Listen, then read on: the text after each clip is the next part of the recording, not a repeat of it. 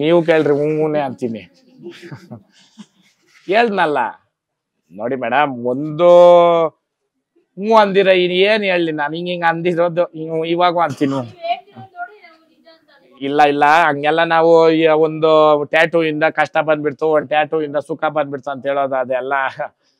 ಅದು ಹೇಳಕ್ ಬೇಡ. ಇರ್ಲಿ.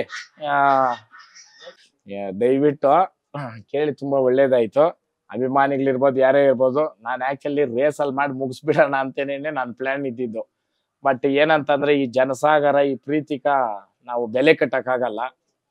ಆ, ಎಷ್ಟು ಒಂದ್ ಸಾವಿರ ಜನಕ್ಕೆ ಮಾಡ್ಬೋದು ಪ್ರೋಗ್ರಾಮು ಇಲ್ಲ ಒಂದ್ ಐವತ್ತು ಸಾವಿರ ಜನಕ್ಕೆ ಮಾಡ್ಬೋದು. ನೀವೇ ನೋಡ್ತಾ ಇದ್ದೀರಾ. ಹೆಂಗ್, ಏನು ನನಗೇನು ಪ್ಲ್ಯಾನ್ ತಲೆಕಂತೂ ಓಡ್ತಾ ಇಲ್ಲ.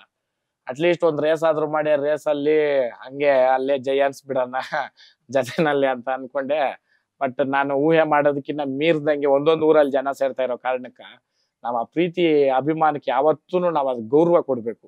ಇವಾಗ ಕೆಲವರೆಲ್ಲಾನು ಜನ ಅಂತ ಬಂದವಾಗ ದಯವಿಟ್ಟು ಅರ್ಥ ಮಾಡ್ಕೊಳ್ರಿ, ಮನೆಯಲ್ಲಿ ಇದ್ರು ಇಲ್ಲ ಅನ್ನೋರು ಅವ್ರೆ, ಇಲ್ಲ ಎಲ್ಲ ಹೋಗವ್ರೆ ಅನ್ನೋರು ಅವ್ರೆ.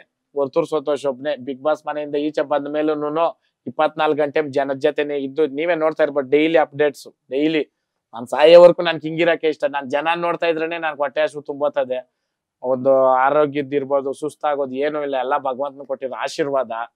ಇದು ಹಿಂಗೆ ಸದಾಕಾಲ ಎಲ್ಲರ ಆಶೀರ್ವಾದನು ಇರ್ಲಿ.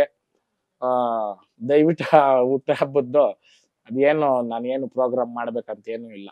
ಯಾಕಂತಂದ್ರೆ ನಮ್ಮ ನಮ್ ಕಾರ್ಯಗಳು ಇವಾಗ ಸುಮಾರು ಊರುಗಳಿಗೆ ಹೋಗೋ ಪ್ರೋಗ್ರಾಮ್ಗಳು ಅದು ಇದು ಐತೆ. ಅವತ್ತು ಒಂದಿನ ಮನೆ ಹತ್ರ ಇರ್ತೀನಿ, ಎಲ್ಲೂ ಹೋಗಲ್ಲ. ಇದ್ದ ಸಹಕಾರ ಮಾಡ್ರಿ ಅಷ್ಟೇ. ನ್ಯೂಸ್ ಫಸ್ಟ್ ನಿರ್ಭೀತಿಯಿಂದ ನಿಮ್ಮ ಪರವಾಗಿ.